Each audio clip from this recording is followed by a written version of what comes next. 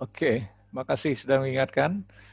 Ya, saya ingatkan kembali, tolong di ano, di apa, dicari eh, sebuah transaksi perusahaan dagang yang mengolah atau membahas tentang piutang dan hutang. Ya, karena Anda masing-masing nanti harus cari uh, soalnya. Kalau dari saya uh, agak kerepotan nantinya. Karena saya bukan orang akuntansi ya. Nanti anda tinggal menjemput uh, sesuai apa yang sudah kita buat. Oke bisa dipahami nantinya kira-kira ya. Nah lalu untuk SOP-nya juga sudah ada kelanjutan dari halaman yang kemarin itu dilihat. Jadi anda bisa lihat dari halaman uh, empatnya itu. Nah, di situ ada aturannya semuanya. Lalu anda jika membuat kelanjutannya buka file anda yang kemarin nanti lalu lanjutkan. Nah itu kira-kira pembelajaran kita hari ini Oke, bisa dipahami? Nah, saya akan set materi yang sambungan kemarin. Uh, ini tolong diperhatikan. Nah, suaranya tolong dimute-kan yang lain ya. Nah, ini yang kemarin, yang empat tabel. Kita akan nambah uh, ada empat tabel lagi. Nah, cara pembelajarannya sama saja. Jadi Anda sudah berada di posisi tabel, tidak harus di relationship. Relationship ini bisa saya close. Kondisi yang seperti ini Anda buka kembali masing-masingnya nanti. Nah, sekarang lihat demo saya. Kita mulai lagi dengan membuat tambahan tabel. Tabel yang pertama yang kita tambah adalah tabel master pelanggan. Berarti seperti ini, create tabel design. Nah, berarti kita ikuti apa aba-aba yang ada dalam SOP itu. Saya singkat aja nomor pelanggan, nomor peleng saya buat ya data tipe teks, ikuti apa yang ada di sana. Kemudian file size eh, sebanyak 5. Lalu requirednya ikuti seperti itu, yes. Ya, apa yang ada di situ diikuti. Kemudian index yes no duplicates. Index yes no duplicate. Ya. Kemudian dikasih primary key. Nah, seperti itu. Itu untuk field nomor pelanggan preamble code nama pelanggan. Saya singkat aja ya. Nah, teks berapa ananya fieldnya yang dibutuhkan, kita buat 30. Nah, kemudian requirednya yes, seperti itu.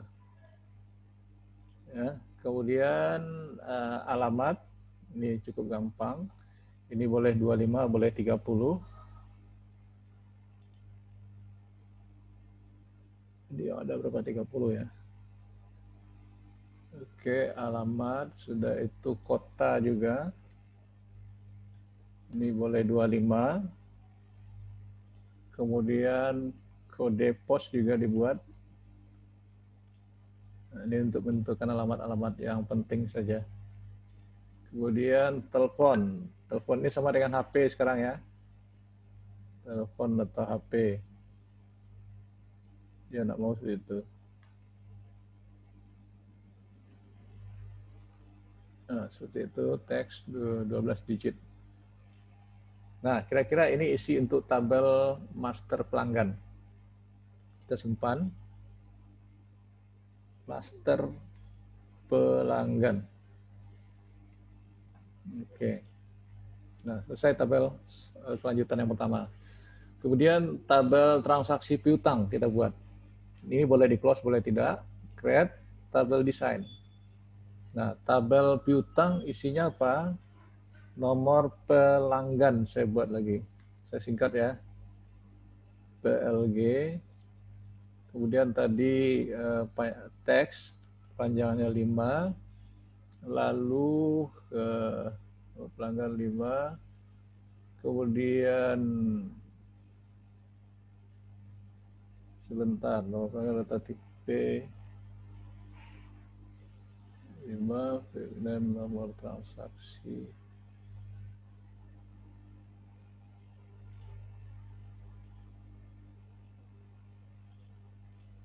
Nah, ini boleh kita buat combo boxnya supaya mudah mencari nanti. Ambil dari master pelanggan. Nah, master pelanggan itu. Nah, itu. Oke. Okay. Kemudian nomor transaksi, saya singkat nomor transaksi. Nah, nomor transaksi, data tipe, auto number, auto number,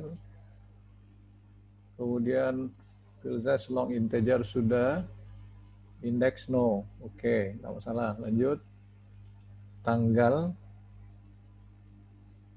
nah ini date time otomatis Kemudian settingan tanggal, uh, medium date, pilih di sini.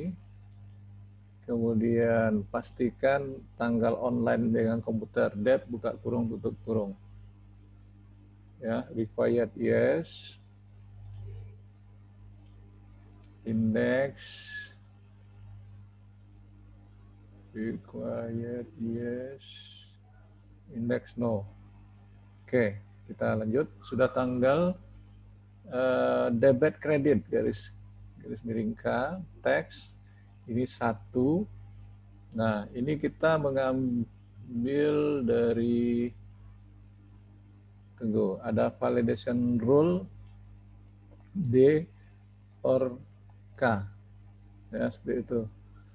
Validation teksnya eh, ketik dat data yang benar hanya D atau K. Required klik required klik yes.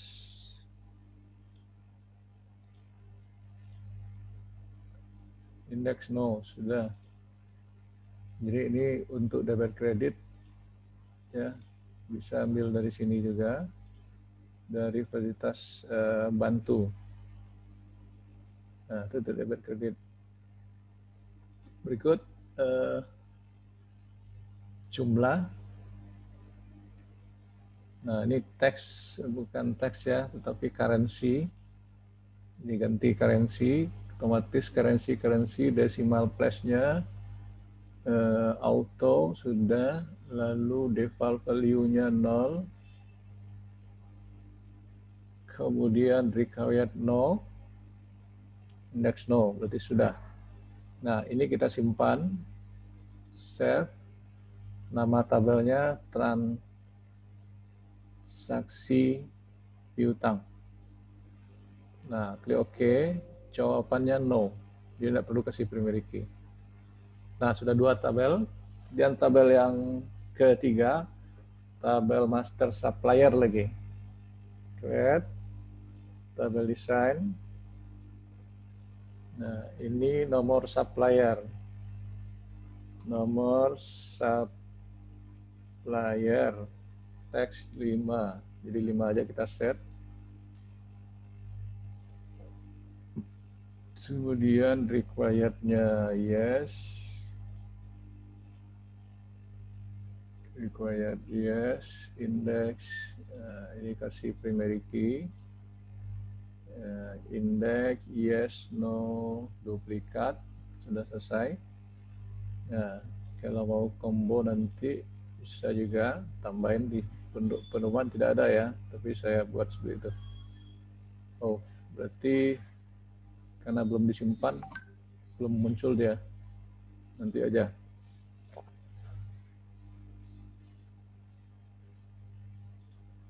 ini tabel master supplier. Oke, jadi sudah bisa ini kita kasih uh, pilihan nama kombonya supplier. Ya, master supplier sudah. nah, sesudah nomor supplier itu nama supplier. Ini teksnya 30 eh, lagi. Kemudian required yes.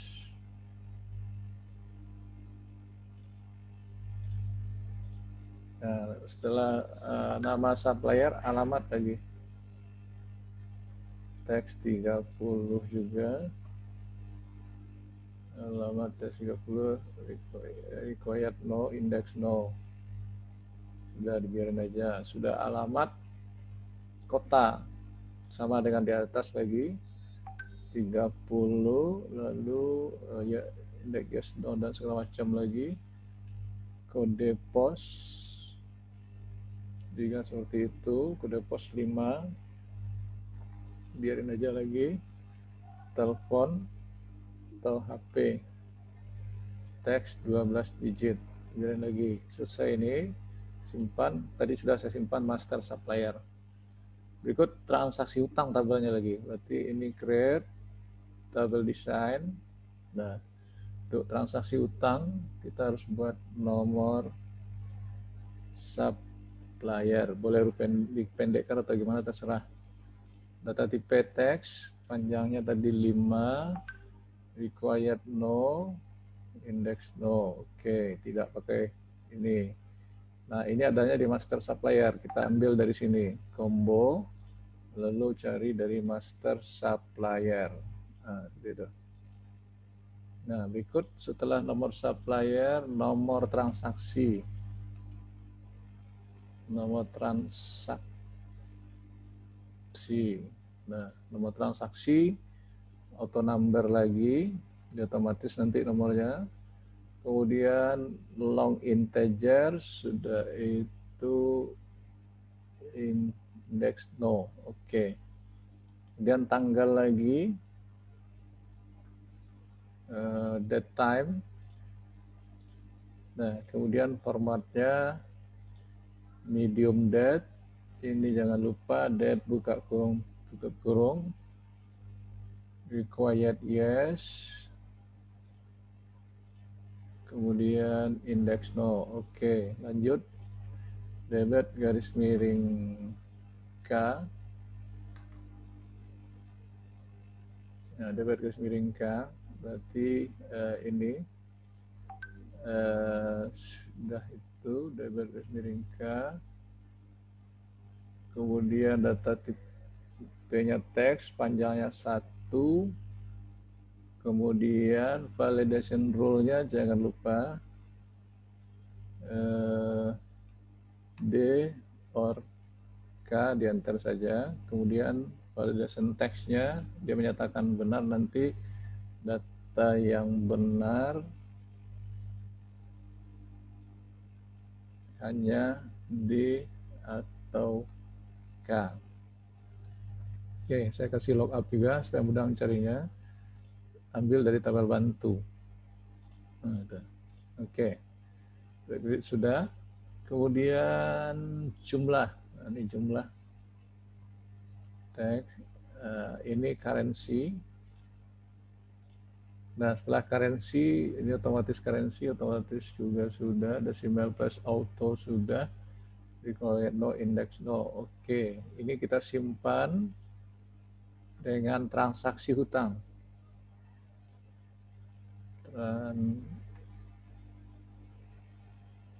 Transaksi hutang.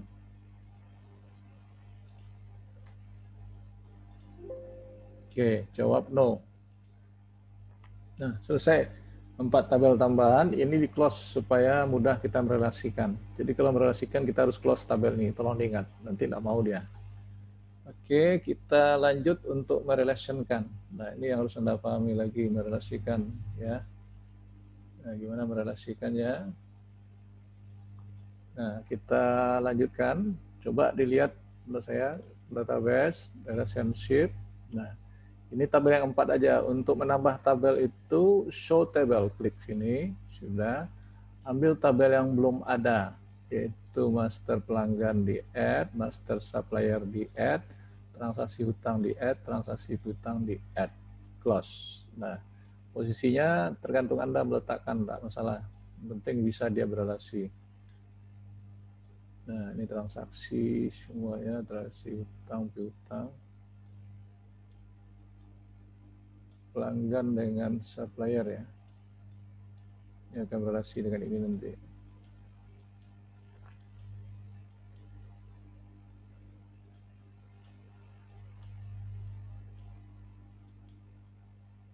Oke, diperhatikan ini.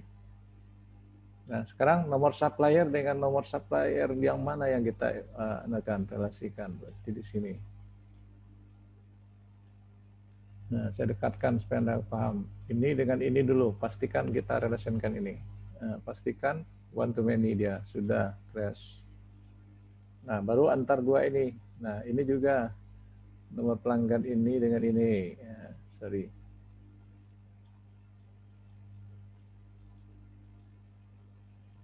Nah, ini.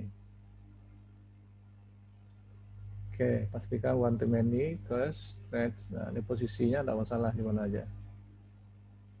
Nah, ini mau di sini boleh, karena ini mau dirangkai ke bantu lagi. Nah, ini debit kredit yang di transaksi utang juga seperti ini ke sini dirasikan. Nah, pastikan itu. Ini juga. Nah, seperti itu. Oke, selesai. Nah, nah kalau sudah selesai, berarti ini yang sudah terjadi di sini kita simpan. Nah, kalau sudah, eh, berarti save dulu. Nah, baru membuat ini baru membuat query, eh, membuat relationship. Sekarang buat formnya. Nah, bagaimana buat formnya? Formnya ada dua nanti, yaitu form untuk hutang dan piutang. Ya. Nah, sekarang buat form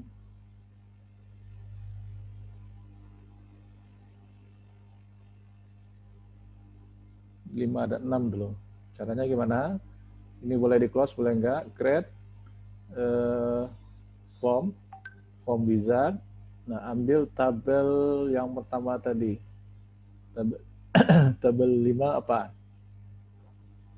Nah, tabel 5 yaitu tabel uh, yang pertama kita buat tadi, tabel pelanggan. Master pelanggan. Nah, ini dipindahin semua. Kemudian yang kedua, tabel transaksi piutang. Nah, tabel transaksi piutang apakah semuanya kita masukkan? Diperhatikan lagi langkahnya. Nah, untuk ini pemwizard tadi sudah klik terminal klik semua sudah. Kemudian tabel 6 piutang klik nomor transaksi tanggal. Jadi nomor transaksi tanggal debit kredit jumlah Nah, selesai itu next, next.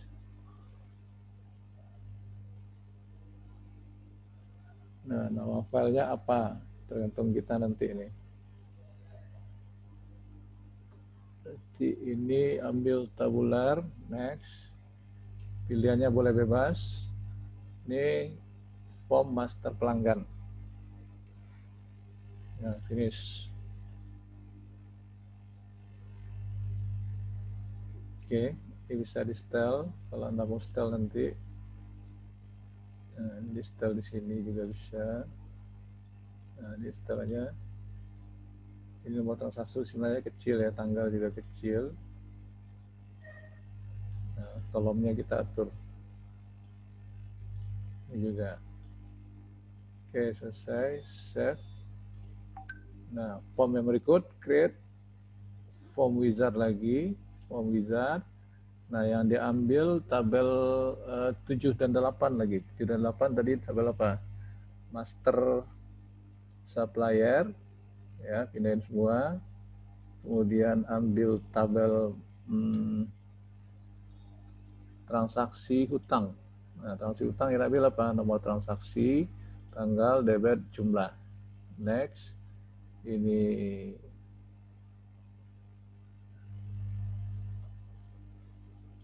master pelanggan, master supplier, tabular. Nah, mau yang sama boleh, mau ganti yang lain boleh. Nah, ini sudah. Jadi kalau mau ditambah kalimatnya boleh form master pelanggan finish. Oke, seperti ini tampilannya. Ya, ini bisa di setel sama dengan yang tadi nomor transaksi bisa di setel ini sesuai kalimatnya seperti itu tanggal terlalu kecil nanti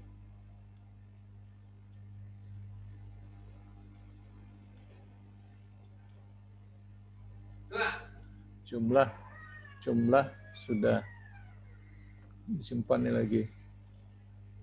Oke, selesai. Kita form master pelanggan dan master supplier. Tinggal kita membuat query saldonya lagi. Ini boleh disimpan juga. Nah, sudah sudah di close. Dilihat di buku di tuntunan SOP sudah ada ya. Nah, sekarang kita buat query lagi. Nah, bagaimana buat query? Create query design. Nah, yang diambil apa? Apakah semuanya atau enggak? Nah, ini diperhatikan. Yang diambil itu saldo piutang dulu. Jadi ini ada petunjuknya juga. Ambil tabel 456, tabel bantu sudah pasti. Yang pertama itu master pelanggan, kemudian master uh, piutang. Nah, seperti itu. Ya. Nah, close close ini. Nah, lalu yang ditampilkan adalah hmm, pada tabel 5 pilih eh, tabel 5 pilih nomor pelanggan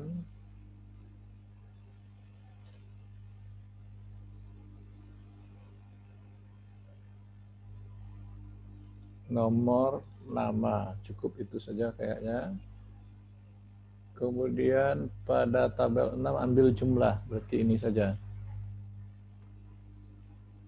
oke kalau sudah itu lakukan di sini, letakkan kursor situ, klik total.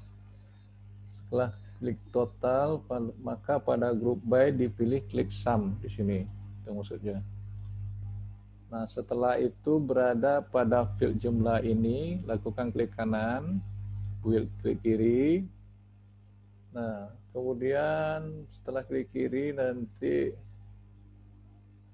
eh,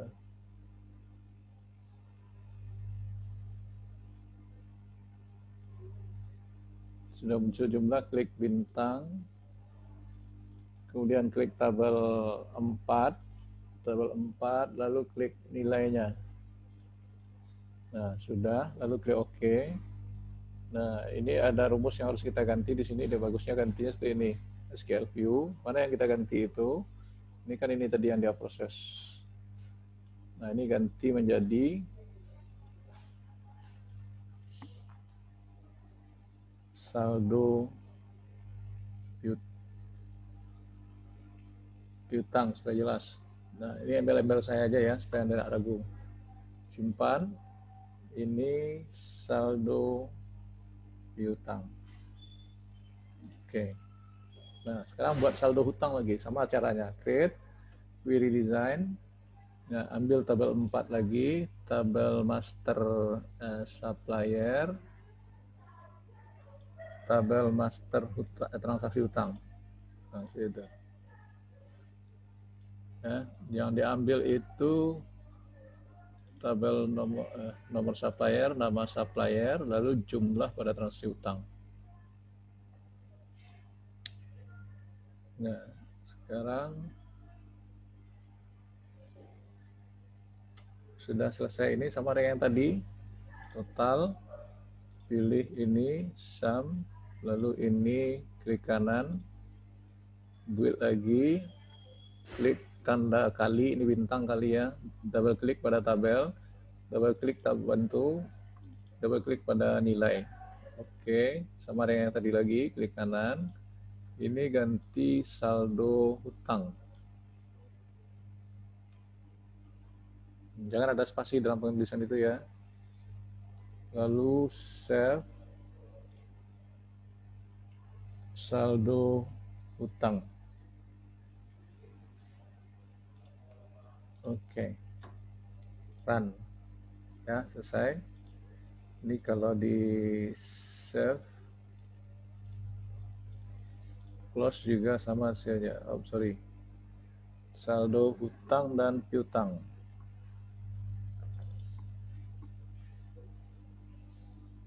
Ini hutang, kelihatan nama supplier, saldo piutang, nama pelanggan, dan nomor pelanggan. Oke, sama-sama kosong karena belum kita isi data. Nah, close all. Ya. Nah, sekarang sudah selesai membuat query, tentu membuat ini lagi, membuat eh, laporan. Nah, laporan tentu ada laporan dari query yang dua tadi. Nah, caranya sama aja. Create report wizard. Nah, ambil dari saldo piutang dulu, pastikan ini muncul. Ini sudah ya, kalau enggak cari dari sini. Ini bisa dicari, saldo piutang dulu. Ini. Klik tanda ganda besar ya, next. Ini biar aja seperti itu, next. Next, tabular bentuknya seperti itu. Mau seperti ini boleh, mau ganti yang lain boleh, next. Ini uh, daftar saldo piutang. Hmm. Nah, ini tampil kosong karena data belum ada. Ini ada lagi yang harus kita buat rumus. Di klik kanan, klik kiri send view. Tarik ini ke bawah. Nah, buat rumusnya text box di sini. Nah, ini ketikan eh, saldo piutang. Nah, ini rumusnya apa?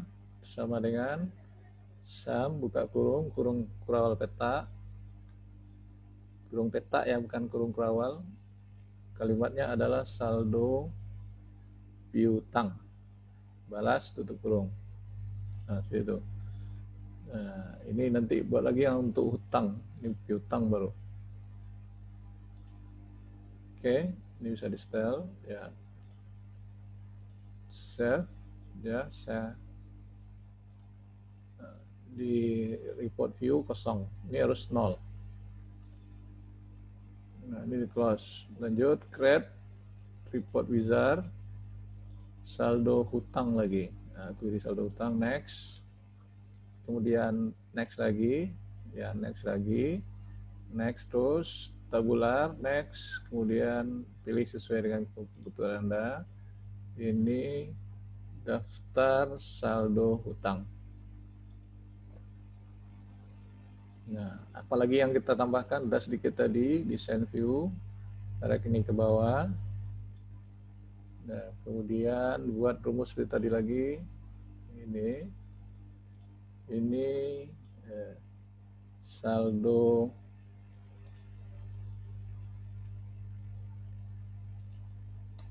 hutang rumusnya sama sorry, sama dengan tinggal sama dengan sum kak kurung kurung petak lagi saldo hutang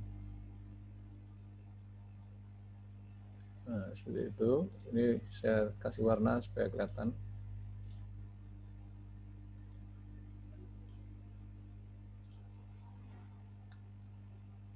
Oke, selesai. Ini saya save, saya print preview lagi, report. Nah, ini kosong. Ya. Nah, itu dia hasilnya. Sini saya close. Nah, berarti pembuatan database tambahan sampai daftar saldo hutang dan berhutang sudah. Uh, untuk minggu depan kita tinggal membuat menunya aja lagi sehingga lihat di tuntunan sudah ada. Jadi nanti kita buat kelompok-kelompoknya. Nah, selesai ini pekerjaan Anda apa? Nah, kemarin Anda sudah mengisi apa namanya? Eh, master, bukan master, tabel mana dia nih formnya? Form perkiraan. Nah, pemikiran Anda kan ini. Ya. Nah, ini harus diisi lagi nih. Tabel perkiraan kok nggak ada. Nah, ini tabel perkiraan. Nah, Anda tambah lagi apa yang berkaitan yang harus Anda tambah. Nah, tentunya ada nama pelanggan. Nah, nanti kita harus mengisi pelanggannya dulu. Tentu dasarnya ada soal. Nah, saya untuk akuntansi ini agak kurang pas juga, tapi contohnya eh, ini katanya PD Avenue. Nah, nanti cari soalnya masing-masing Anda. Ini dagang perpetual Avenue. Nah, berarti Anda sebelum mengisi itu apa namanya eh, nama pelanggan dan piutang tadi, utang tadi itu harus ditambahkan dulu yang berhubungan dengan transaksi yang akan mungkin. Contoh ya, persediaan barang dagang. Nah, berapa, kode referensinya berapa? Itu yang belum ada. Jadi kalau dapat nomor akunnya nanti Anda cari. Saya punya hanya yang seperti ini.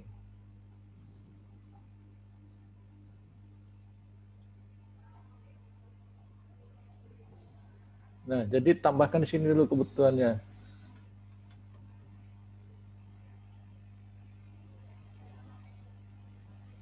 Sebentar, saya lihat soal.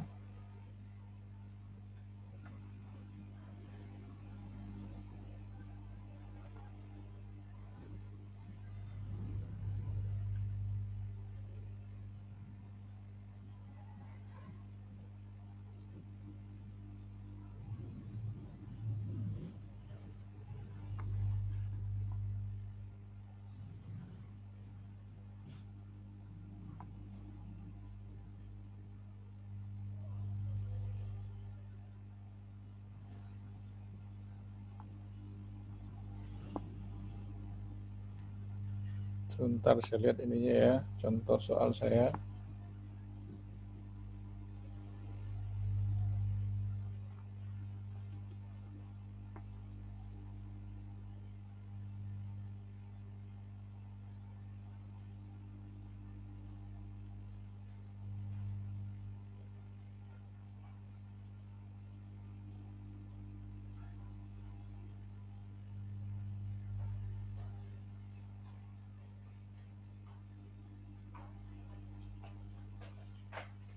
Jadi tambah piutang sudah.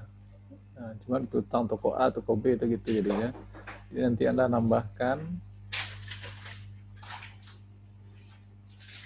eh, seperti ini. Satu, satu, dua, satu. Kan ada lima itu. Jadi nanti piutang piutang A saja. Ada lagi satu satu 122 piutang D. Nah, itu contoh ya. Kemudian hutang, ada hutang, mana hutang? Nah, hutang contohnya 201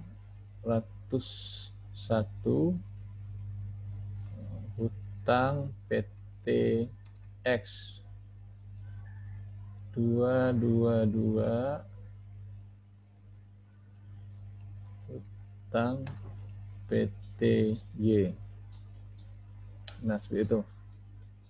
Nah, selesai ini, eh, baru kita masuk kepada form eh, pelang, master pelanggan dan supplier tadi. Nah, sekarang di sini masuk ke form pelanggan. Yang pelanggan tadi kan bintang A, bintang B. Nah, ini Nah, jadi toko A misalnya, oh, sorry, nomor pelanggan, bukan ini, sorry, bukan ini.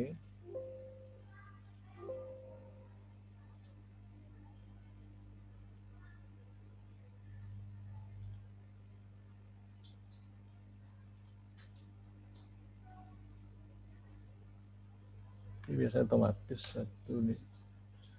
Nama pelanggan Bos, tidak mau, sorry, lupa nih. Bos.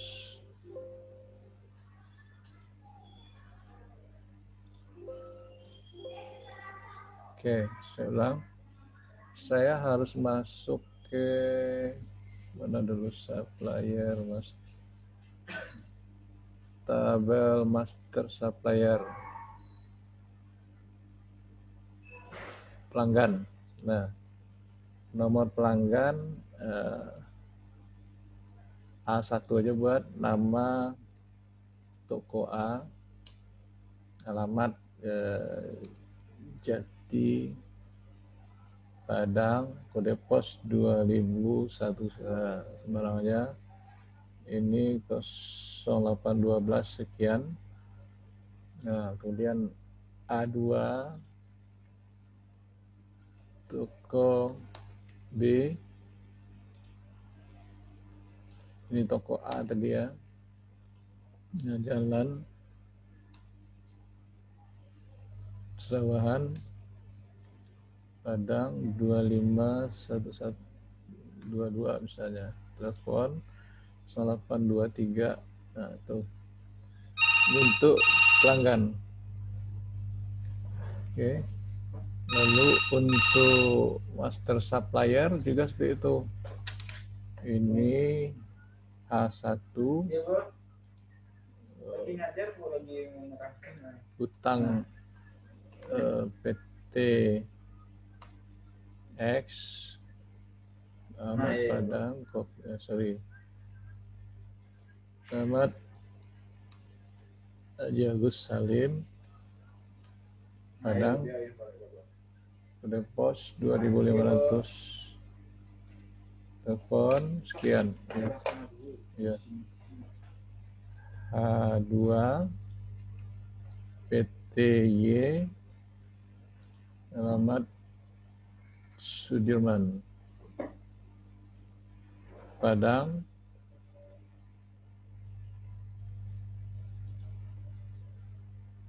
Oke, sudah selesai ngisi yang tadi. Ingat cara saya ngisi ya, nomor perkiraan, pelanggan, dan uh, supplier. Ya, sekarang baru cari transaksi.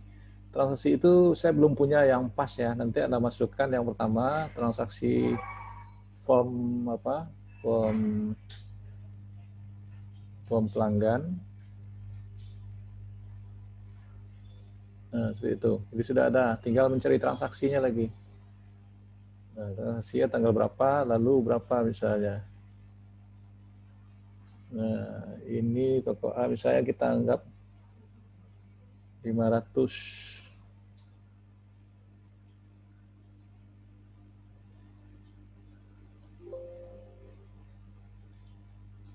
sorry salah saya nih.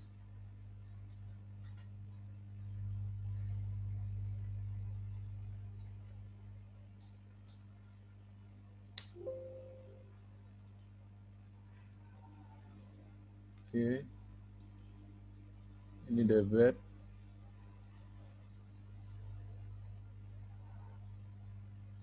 Ini kreditnya harus 500 5 juta.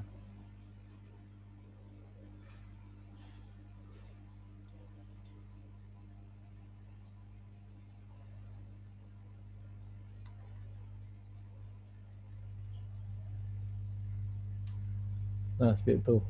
Nah, ini contoh satu ya. Kemudian master siapa ya tadi juga. Nah, master saldo hutang mana dia? Supplier. Nah, ini sudah ada. Ini tanggal sudah. Eh, lalu ambil debit. Saya ini 2 juta 500. Nah, kemudian ini kredit juga 2 juta 500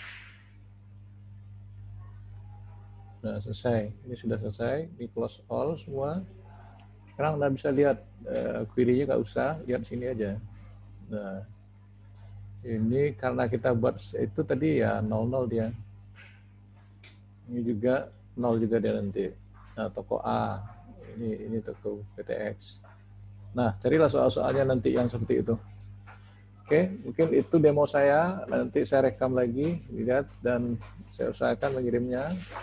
Ada pertanyaan? Halo, ada pertanyaan? Tidak, Pak. Nah, nanti, Tidak, Pak. Oke, nanti dicoba ya. Tidak. Cuman cari kasus Anda masing-masing ya. Lanjutkan lanjutkan pekerjaan Anda, simpan apa kopi yang kemarin dulu, baru lanjutkan dengan ini. Oke? Soalnya yang baru, Pak. Tadi soalnya soal kasus perusahaan dagang yang ada piutang dan hutang. Saya sudah cari tapi Anda bingung nanti soal saya. Cari yang menurut Anda yang mudah. Oke? Okay? Oke, Pak. Oke. Okay.